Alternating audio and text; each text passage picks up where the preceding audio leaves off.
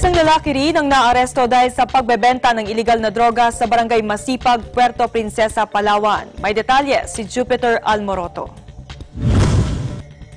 Kasong paglabag sa Republic Act 9165 o Comprehensive Dangerous Drug Act of 2002 ang kaharaping kaso ng isang 30 anyos na lalaking kinilala sa alias Kokok o Carl Alexis Regional Kayanan at residente ng barangay Masipag, Puerto Princesa City.